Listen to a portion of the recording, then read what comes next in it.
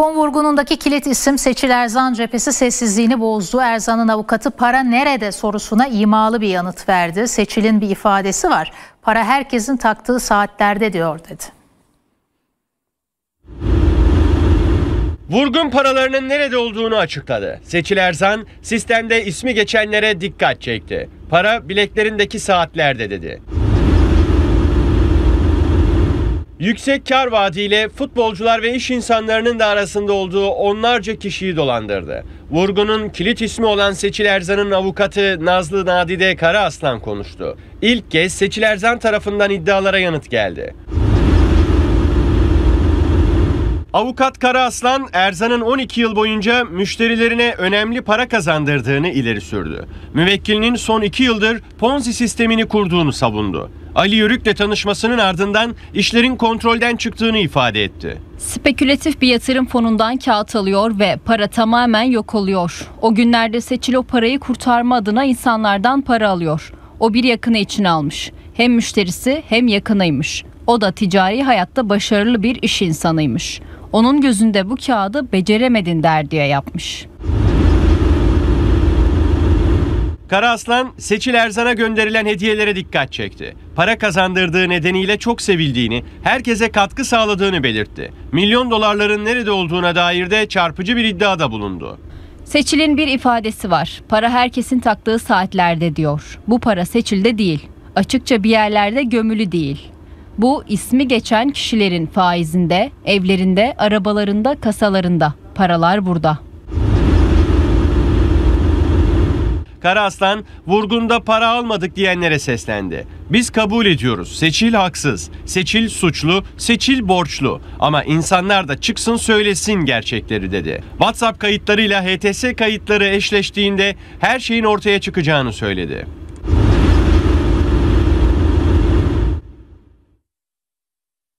Şimdi bütün bu özel haberleri herkesten önce hazırlayan sevgili Devrim Tosunoğlu bizle beraber. Bir de tabii ceza hukukçusu Profesör Doktor Hasan Sınar'a soracağız. Hocam hoş geldiniz yayınımıza. Hoş bulduk Ece Hanım. İyi yayınlar diliyorum efendim. Çok teşekkürler. Şimdi e, önce bu son haberden dilerseniz başlayalım. Devrim Tosunoğlu diyor ki avukat 12 yıl boyunca müşterilerine önemli paralar kazandırdı. Aslında evet. aldığından daha çoğunu verdi bu e, senin yaptığın özel habere göre. E, ve e, hatırlarsan iki gün evvel konuştuğumuzda mesela Emre Belözoğlu'nun hiç şikayetçi, şikayetçi olmaması. Olmadı. Arda Turan'ın mesajlaşmalarda inanılmaz kibar davranması. Yani kimsenin yakası kardeşim sen ne yapıyorsun dememesi şüphe uyandırıyordu. Biraz bunu konuşalım mı bu kısmını? Konuşalım. Ee, Seçil Erzan e, söylediklerinde samimi ikrarlarda bulunuyor aslında. İlk ifadede tamamen farklıydı, ikinci ifadesinde e, tamamen farklı şeyler söylemiş. Ee, ve anladığım kadarıyla da 12 e, Ocak'taki mahkemede de farklı ifadeler verecek. Çünkü artık Seçil Erzan bitiş noktasına geldiğinde e, insanları doyurmuştu. Kendi ifadesine göre söylüyorum. Şimdi ben e, dosyayı okuyorum. Ek klasörler var. Yani 10 bin belgeden fazla belge var. Orada farklı isimler de var aslında. Yani şikayetçi hiç dosyada adı olmayan mağdur olduğunu iddia eden farklı isimler var. Çünkü para alıp para alışverişinde bulunmuş. Burada şuna şuna bakıyorsun. Seçil Erzan, e, Erzan şunu e, ilk e, kuzeniyle yaptığı görüşmede kuzenlerinden çok bıkmış. Yani onları bir doyuramadım diye ifadesi var. Şimdi kuzenlerine bakıyorum 5 e, milyon vermiş 10 milyon almışlar. E, ama sonrasında da bakıyorum sonraki ifadelerine bakıyorum e, dosyada mağdur olarak görüyorum. Bizim paramızı vermedi diyor. Ama oysa ki yani kuzeni, akrabaları yani Seçil Ercan'a Rolex hediye etmiş. Yani burada bu e, sistemde aslında kazananlar kazananlar sesini çıkarmayacaktı ama bu mağdur olan kişiler son noktaya gelince paralarını alamayınca o sistem fon sistemi e, çökünce bu sefer de şikayetler ortaya çıktı. Bu sefer de korku başladı insanlarda. Acaba bize bizde e, aldığımız paraların peşine düşülür mü diye. Çünkü ortada resmi kayıtlarda kimsede bir şey yok. Şuna da dikkat çekmek istiyorum Ece Hanım. Eee bu e, hani A4 kağıdına yazılmış işte şu kadar borcum var işte deniz, e, o bankanın antetli kağıdına yazılmış notlar var ya. Aslında o notlar e, son ayda alınmış notlar. Yani E, bu iş ayyuka çıkınca insanlar parasını bir şekilde yani resmiyete dökmeye çalışmış. Ama seçilerden bunu resmiyete dökemediği için onlara o matbu kağıtları vermiş. Yani bu da demek oluyor ki bunun evveliyatında e, daha şeyler çok şeyler var. E, şunu anlatayım isterseniz başka bir e, konuya da dikkat çekmek istiyorum. E, geçtiğimiz günlerde iki gün önce HTS kayıtları geldi dosyaya. Bu HTS kayıtları çok önemli. Ee, burada HTS'nin dışında bazı e, kayıt dökümleri de var. Çünkü niye? Seçil Erzan e, ifadesinde diyor ki ben işte şu dışarıda aldım. İşte bankada buluştuk. Bazen bankada teslimat yapılmış. Az önce haberde de vardı. Çünkü bankada teslimat yaptığı belli. E, açık unuttuğu bir telefonun kaydı çıktı ortaya. E, o kayıtlarda e, insanların ne zaman mesajlaştıkları, nerede buluştukları, nerede parayı tespit hani diyorlar ya şu tarihte şurada bankaya gittim verdim. İşte o HTS kayıtlarına bakılacak. Onlar karşılaştırma yapılacak. Onun üzerinde bir hummalı çalışma var diye söyleyebilirim. Peki şimdi burası çok önemli hakikaten. Hemen e, Sayın Hasan Sınar'a dönmek istiyorum. Şimdi burada artık HTS kayıtlarında hiçbir e, çıkış noktası bırakmayacak şekilde detaylı o para alışverişinin özellikle bankada olan kısmı ile ilgili hani geçen konuştuğumuzda kamera kayıtları silinmiş falan Evet. diyorduk. Artık açık seçik çıkıyor. Şimdi çıkınca seyri nasıl değişir bu davanın? Şimdi şuradan başlayalım Ece Hanım. Daha önce de sizinle konuştuğumuzda ben ısrarla bu dosyada soruşturma aşamasında ciddi eksikliklerin olduğunu vurgu yapmıştım. Eksik incelemenin varlığına vurgu yapmıştım ve özellikle delil araştırma faaliyetinin maddi gerçeği ortaya çıkarmaya yönelik yeterli suç şüphesinin varlığını tespit etmeye yönelik delil araştırma faaliyetinde ciddi noksanlıklar olduğunu ifade etmiştim.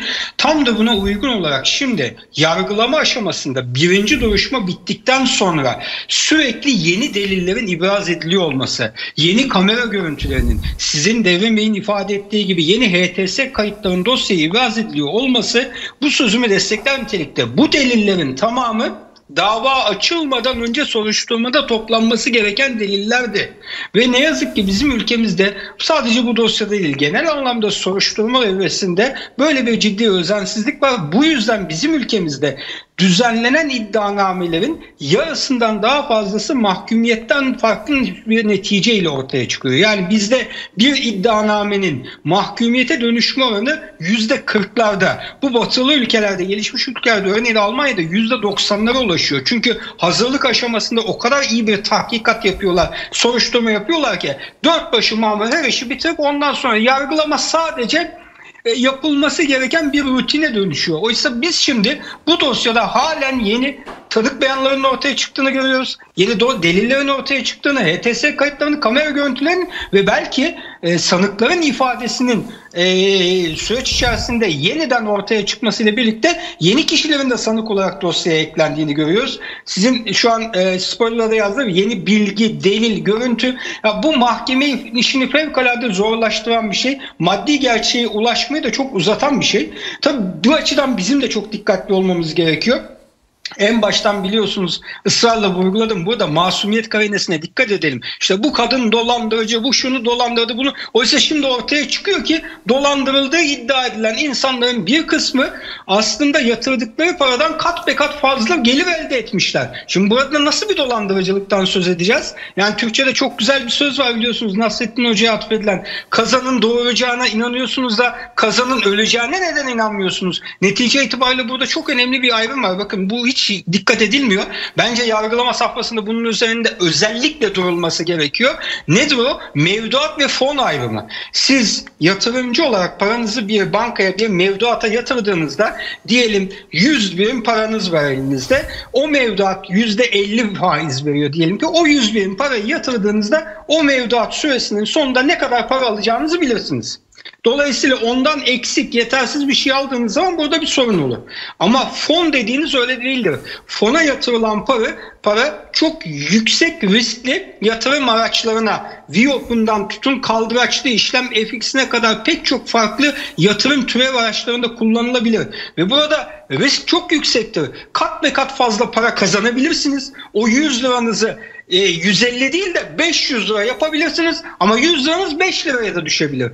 Dolayısıyla siz aç gözlüğünüzün kurbanı olarak 100 lirayı 500 lira çıkaracağım diyerek yani normalde piyasa şartlarında mevduat faizleriyle alakasız ölçüde olağanüstü yüksek paraları hedefleyerek bu işe girdiniz ve neticede o fonun e, talihi yaver gitmedi ve e, o paranın ana parası dahi eridiyse Burada bir dolandırıcılıktan söz etmek çok da mümkün olmaz diye düşünüyorum. Geçtiğimiz programda da konuştuk. Burada önemli olan dolandırıcılık suçunun yasal unsurları açısından kilit nokta hileli bir hareketin bulunup bulunmadığı. Eğer burada söz konusu yatırım aracının ne kadar riskli olduğu hususunda insanlar bilgilendirilmiş olmasına rağmen o olası çok yüksek paranın döviz üzerinden kat, kat, kat be kat parayı arttırmanın iştahına kendilerini kaptırmışlar ise bu takdirde zannedersem bu televizyon ekranlarında insan asmaca oynayan ve herkesi dolandırıcılıkla yargılanan herkesi e, bir şekilde sahtecilikle itham eden insanlar büyük yanılgı içerisine girebilirler diye düşünüyorum. Burada hepimizin itidal içerisinde hareket etmesi ve 12 Ocak'taki duruşma dahil olmak üzere yargılamanın seyrini takip etmesi gerekir. Fakat bir kez daha altını çiziyorum. Yani keşke bu delillerin tamamı soruşturma evresinde toplanmış ve mahkemenin sırtına bu kadar yük bırakılmamış olsaydı. Çok haklısınız. Bakın ne demiş Seçil Erzan. Zorla bana para vermeye çalışanlar bile vardı. Ya, Almak zorunda kaldım. Çünkü fazlasıyla faiz alacaklarını biliyorlardı. Almak istemediğim halde kapalı çarşıda biri bana zorla para verdi. En yakınımdakiler bile benim üzerimden geçinmeye başlamıştı. Yani tefeciler var. Zorla para veriyorlar. Bunu çoğaltacaksın diye resmen başına silah dayıyorlar. Mecazi anlamda söylüyorum. Yakınları tefecilerden beter. Doğru mu? Doğru. Çünkü yakınları e, az önce de söyledik e, çok büyük e, para kazanmışlar. Yani e, o e, Seçil Erzan'ın lüks yaşamı yakınlarına da e, sıçramış. Çünkü para dağıtıyor neredeyse tabiri caizse Seçil Erzan. E, ama e, şuna bakıyorsunuz gözaltına alındığında sadece evinde 67 bin lira parası vardı. E, bunu da zaten bugün... E, Öğrendik kol saatlerinde. Kol saatlerindeymiş. Ama e, şöyle... E, e, kol saatinin dışında kendisinde lüks yaşamı var. Kendisinde yatırımları var. Aslında yatırım hesapları da e, girmiş o yörük kardeşlerden bahsetmiştik. İşte o burada kilit nokta bu. E, işte tefeciler dediğiniz kapalı çarşı noktası var. Şimdi bu para e, yaklaşık 11 milyon dolar ortada para yok. Şimdi şöyle bir şey var. İfadelere e, ifadelere bakıyorsunuz. Yeni söylemlere bakıyorsunuz.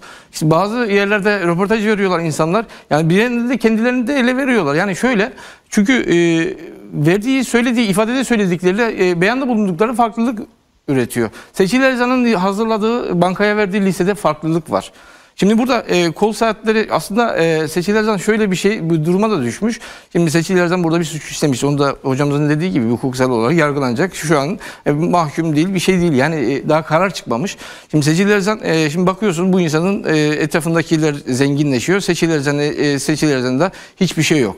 E, çünkü e, öyle bir şey ki yakınları e, ve çevresindeki insanlar bu iş ayyuka çıktığında artık ipotekler koymaya başlamışlar. Senet imzalatmışlar.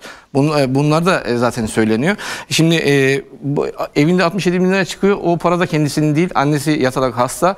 E, bakıcının parası olduğunu söylüyor. Onu bakıcıya birkaç maaş e, bırakabilmesi için söylüyor. Mesela evinin yağmalandığını söylüyor yakınları tarafından o para kazandırdıkları, e, para e, verip işte lüks hayata giren o yakınları seçilirsen gözaltında e, alındıktan sonra e, Göktürk'teki evine gidiyorlar. Mesela e, şu e, sohbetlerinde dinledim e, konuşmalarda. E, mesela babası rahmetli olduğunda e, cebinde 85 euro varmış. Yani onu anı olarak saklıyormuş Göktürk'teki evde. Onu bile almışlar.